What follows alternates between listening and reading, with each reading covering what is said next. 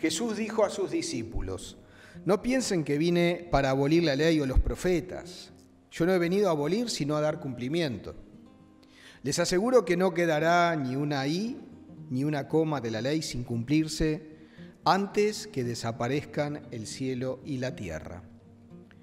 El que no cumpla el más pequeño de estos mandamientos y enseñe a los otros a hacer lo mismo, será considerado el menor en el reino de los cielos. En cambio, el que los cumpla y enseñe será considerado grande en el reino de los cielos. Palabra del Señor. Cumplir y enseñar son dos verbos que en el Evangelio tienen que ir siempre de la mano. Evidentemente, aquí queda muy claro lo que Jesús manifiesta. Para poder realmente vivir el Evangelio, debemos cumplirlo y enseñarlo. Cumplirlo es la garantía de que lo que vamos a enseñar es el verdadero camino.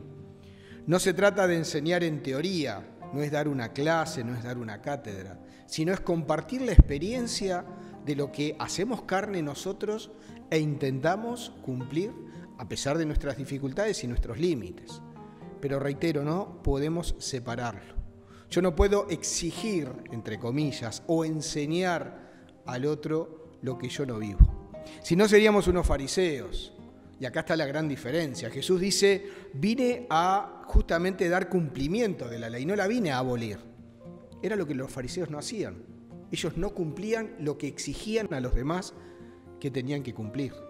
Y acá es la gran distinción entre nosotros los cristianos, que estamos llamados primero a vivir y luego a compartir los frutos de esa experiencia, del haber vivido el encuentro con Jesús, el haber aceptado la propuesta de construir su reino y el ponernos manos a la obra. Eso es lo que nosotros compartimos, la propia experiencia. No hablamos de una teoría, no hablamos de algo que sea abstracto. Manifestamos nuestro encuentro con una persona, Jesucristo, como decía el Papa Benedicto XVI. Es desde ahí donde se necesita a la hora de poder compartir con los demás e invitar a que los demás puedan trazar este camino. Que realmente seamos capaces, reitero, de cumplir y de enseñar a que los demás también se pueden encontrar con Jesucristo, que es el camino y la felicidad, es la plenitud. De eso se trata.